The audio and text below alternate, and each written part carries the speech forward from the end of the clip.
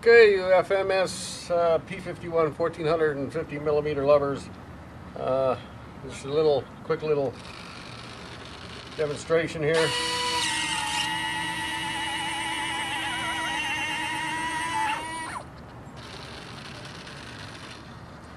Way to go MF or FMS, Frank.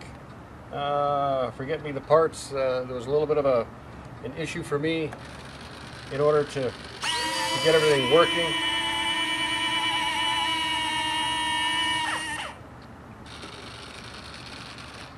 I want to talk a little bit about uh, the setup of uh, the electronics. Um, the manual, uh, the FMS manual uh, that we're used to familiar uh, seeing, uh, there were some changes from version 7 to version 8. Uh, when I got my P51, I got the, the owner's manual. I didn't really get any electronics other than this little sort of tiny board, and that was it. And when I went to open through the manual, it's saying, you know, please, you know, get such and such a part, and I'm saying, well, I don't have that part. Uh, so uh, I talked to the guy down at uh, I talked to the guy down at uh, Motion RC uh, in relation to this model, and I asked them. I, gave them several several part numbers, uh, which we'll, we'll, talk about. I asked them about the SU-138 and the SU-139, which are like aileron extensions, and another extension which actually you plug all of the B and C style uh, plugs coming off the wings and retracts and, and, the fairing doors into that I needed those parts, which I never got with my kit. Uh, in the meantime, I, I asked uh, uh, the guy online that I bought it from, and it was a whole rigmarole. I wasn't getting these pieces. To make a long story short, I ended up talking with uh, the president of uh, FMS, and to make a long story short, uh, he sent me out a complete new wing assembly with the electronics that I needed. Uh, however, they were not electronics specified in the manual. So I went online and bought all these electronic harnesses and things like that to find out you don't even need them with this kit at all. And uh, FMS should really put an update uh, into that. So I'm going to going to go over a couple of these little parts for you, but uh, just wanted to uh, put this out there to anybody that has one of these kits or thinking of getting them when you get this when you get this uh, uh, owner's manual and you try operating this thing I don't know for me it was a, an absolute nightmare uh, finally got it going though and uh, so I'm gonna I'm gonna show you what what I did and things you actually need and things you don't need versus what's in the manual as far as the plane is concerned uh, it's just an awesome flying, awesome flying scale airplane. It just flies like a dream. So this baby is just awesome uh, looking from uh, head to tail. Uh, it's just awesome. So I'm looking forward to, to getting her out and remating it with uh, it with the new wings. So I'm just gonna snap out of this picture and talk about some of this other stuff.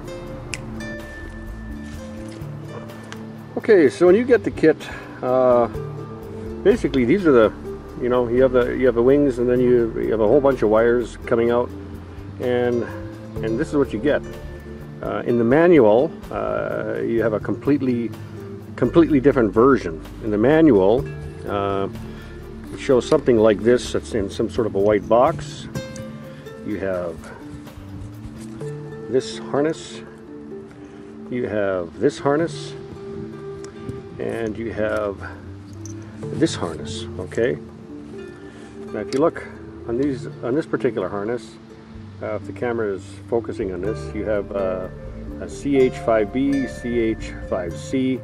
Uh, C I believe is for uh, your fairing doors and B is for your retracts. Uh, then you have channel 1, channel 6 and then LEDs. Uh, I tried hooking this up according to the best I could according to the manual and it absolutely just does not work. It just nothing works whatever.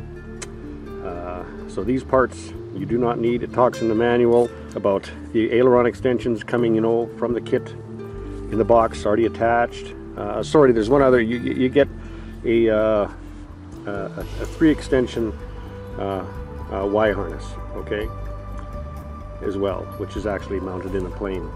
Uh, so those are, those are the, the parts that you actually get.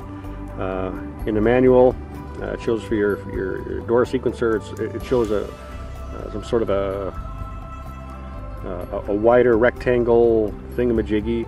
It doesn't look anything like this, okay? And of course, uh, you know, this kind of stuff.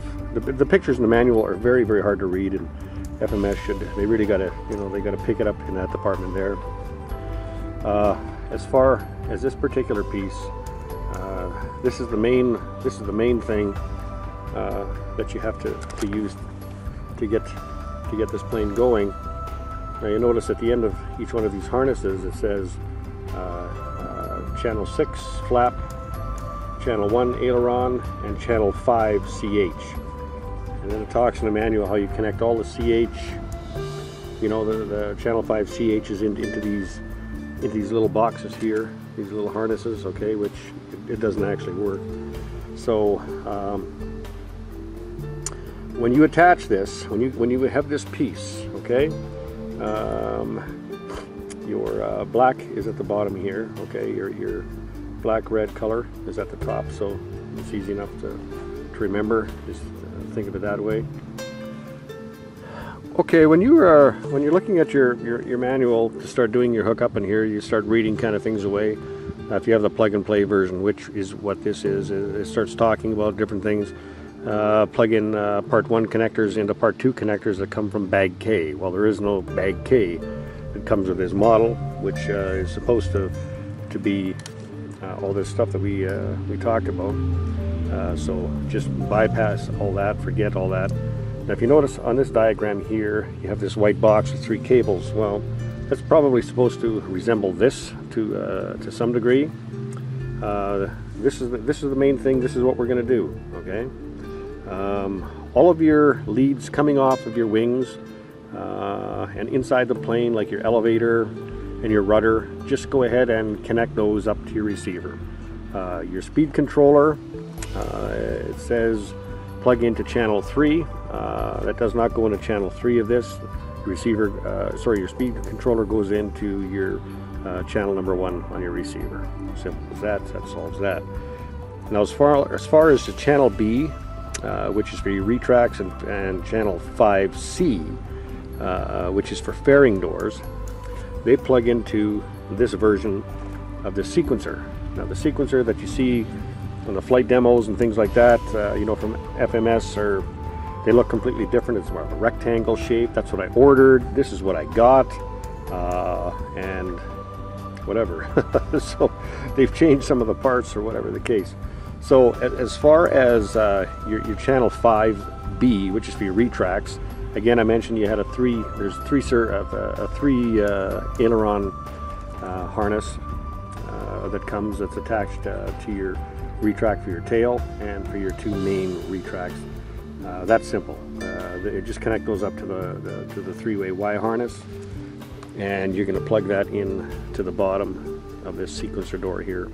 Uh, once you have your uh, sequencer door, or sorry, your uh, once you have your, your main retracts plugged up into this, uh, it's a good idea just to, to power it up, make sure your speed controller is hooked up, uh, power it up, and make sure you've actually got the right the right side. Because if you, if you pick the wrong side, uh, the retracts will open and then it'll wait so many seconds and then they'll close. so you want to make sure you get the, the right the right one. And uh, so that's where you're going to plug your uh, channel 5B for retracts and then channel 5C, you need your own Y harness connector. It does not come with a Y harness connector. Uh, so Y harness up those two channels that say uh, channel 5C and plug that into here. And this goes into uh, your gear, which is your channel 5 on this guy right here. So remember, this is with the yellow on the, on the left side. So one, two, three, four, five that's going to go just like that. Okay, so both ailerons go one aileron here into the first set, another aileron there into channel 2 on there. Uh, and then we've got, as far as your, um, your flaps are concerned, uh, you can put your flaps on these uh, last two channels or you can Y harness them down into channel 6 if you like. and then your, your flaps will work accordingly, uh, the way that's supposed to go. So hopefully that gives uh, a little bit more information. Uh, like I said, I struggled, I struggled a lot with it because uh, it just wasn't working out for me because it, it talks about diagrams and, and, things, you know, that you need to know the best diagram um, that they actually give you is this diagram right here. And that sort of talks again about Y harnessing off and going into channel one. You don't have to use a Y harness, just go into number one and number two. Uh, your landing gear, um, that comes with a three-way harness, uh, which goes into your sequen uh, sequencer door, which is plugged into uh, uh, channel five on this little assembly here. Uh, your fairing doors also go into the sequencer. and then your flaps can just go into this group, this last group, six and seven or you can wide, wide them off and just go into one, into number six. And your LEDs go on these back two connectors right there for your wingtips. So hopefully that makes some sort of sense uh, to you. Uh, I had a heck of a time with this and uh, I can hardly wait to, sort of kind of get it going.